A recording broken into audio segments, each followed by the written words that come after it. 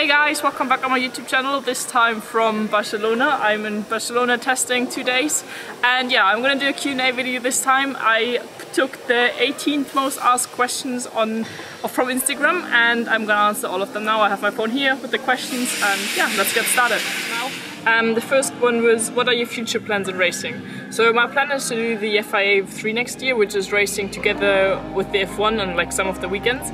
Um, the car is quicker than the one I have now, it has more power but also more, aerodynamics and it's like the biggest F3 series worldwide. Um, I was already planning it to do it this year actually, but then the crash happened in my car, so yeah, this is my plan for next year. Um, you know, it doesn't just depend on what I want, but also what like sponsors want and budget-wise. Um, but yeah, this is my plan for next year and then you need to see what the upcoming years will bring but um, yeah in motorsport it's really difficult to plan like your career year by year. Will you race in the UK? So I'm pretty sure I'm not gonna do a whole season in the UK, let's say, but I'm for sure gonna have like single races there again. So, you know, F1 is racing in Silverstone, F2 is racing in Silverstone, also the F3, which I wanna do next year, is also having a race in Silverstone. So, um, and also last year when I was doing the, the Dallara F3, I was also having a race in Silverstone. So I think I will for sure be back, um, but not for a whole season favorite racing driver at the moment. So, you know, I'm still like a kind of Lewis Hamilton fan, but um, I take more from more drivers, you know, so Verstappen overtaking Hamilton and getting the perfect lap together.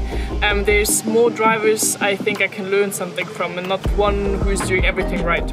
So, yeah, I hope you understand what I mean. Opinion on the Halo, do you see it while driving? So if you specifically look at it, yes you see it, but in the car while driving you don't see it because you're focusing on like points more far away let's say um, so it is it's not really annoying no um, just getting in and out of the car is more difficult but I think what the FIA did was really good and really clever because um, safety is more important and so yeah, I'm not against it. Have you ever driven the simulator at Dallara? If you have, how does it compare to other simulators? So for those guys who maybe don't know, but I was at Dallara um, some weeks ago, they invited me because, you know, they built the car which I was racing last year and um, also the car in which I crashed in Macau. And they have like a museum now with all the cars they've built and also my car is standing there now. So with my design, with the Flammersport design from last year. So they invited me, showed me the whole factory for one day and um, then I saw my car and it's really nice to see it standing between Alonso's car, Gilles Villeneuve's car and so many more. Um, so yeah, it was a really nice day. And then they also showed me the simulator they have, which is really big. Um, I'm gonna show you a picture here now. Um, but I didn't drive it, so I'm not able to compare it. I just know from some race drivers that they actually use it and that it's really good. Well, it actually looks really good because it's really big. I think I've answered this question already in my Q&A which I did like several months ago. But um, many of you wanted to know again how I actually got into motorsport. So when I was four years I went on a karting track close to Munich with my dad. And that's actually also where I did my first years. Um, I enjoyed it, I had fun, I did it a lot. And when I was eight I was allowed to do my first races and you know I never thought I would be in F3 one day but um, yeah, I just kept on doing it and had the support from my whole family and I love it, I loved it and it's my life, you know. So this is how I got into motorsport. What is your favorite thing about driving a race car? This question is really difficult to answer because it's so much. Um, you know, I love the speed of course, the high speed you get in those cars is incredible um, and the higher you get, the quicker the car gets. The aerodynamics is so big, um, you can go so quick through corners which is so cool. And then of course I love the races to fight with someone else, to, to overtake, to break on the limit. Um, and you know, in the car you're an athlete, you're alone, but behind this there's so many people working to get the car working and um, so it's one sport, one man sport but also like a team sport because there's so many people working to be to be winning. Will you do the 24 hours Nürburgring next year? Um, so you know, um, to do the Nordschleife you need to be 18, you need to have a late license. um, so I wasn't allowed to do it past years. But um, I'm gonna try to do my license soon, my permit, let's say, um, and then you know maybe I'm gonna do it next year for sure. It's a really nice event, incredible track, 24 kilometers through forest, up, down, left, right. It's super cool. Um, I'm already doing the track on the simulator and if I could get a good offer next year maybe I'm gonna do it. So my dream car at the moment would be um, uh, Mercedes AMG C63 S Coupe in grey matte with black rims. So this is a car which I actually would love to have. Do you have any ritual, rituals before races? Yes, I do. I do have a lot of rituals actually. So in the morning I always need to wash my hair. So if you see me, see me on the racetrack, I always have fresh hair washed, fresh washed hair. So um, then I always put my right glove on before my left one. I have to go into the car from the right side and before I drive off I always need to tell myself, five different words which motivate me, which focus me and I tell them since like five years, uh, since like eight years I do this, so pretty long. So the last questions are gonna be more private, let's say, and not that much about racing.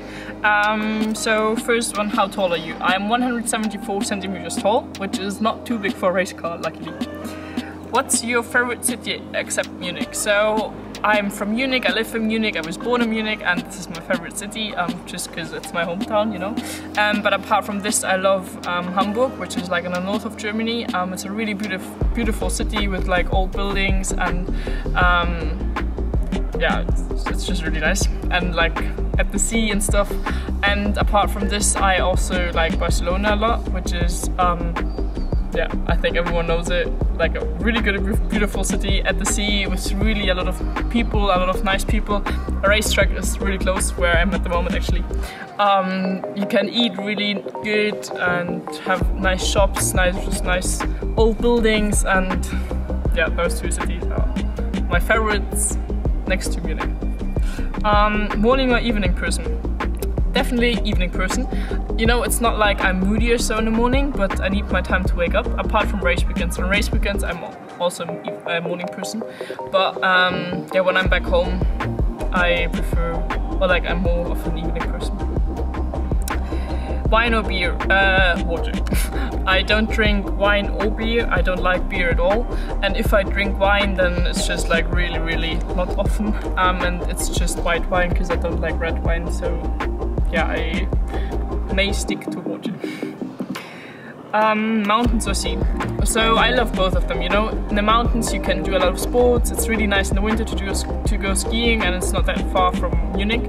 Um, it's really nice to calm down, but the sea is, for holidays I think, nicer because yeah, you can get a tan, it's nice to swim and yeah, I, I prefer sea probably a little bit more. Sushi or pizza? Definitely sushi.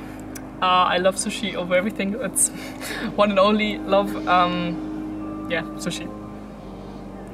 What do you do when you're at home? Um, so, you know, until last year I was still going to school, but at the moment I'm just yeah, living to do racing. So I'm training a lot, I do a lot of simulator. Um, media work, um, sponsor work, and apart from this, of course, I also sometimes meet up with friends, um, do stuff with my sister, um, go play tennis or shopping or cinema or so.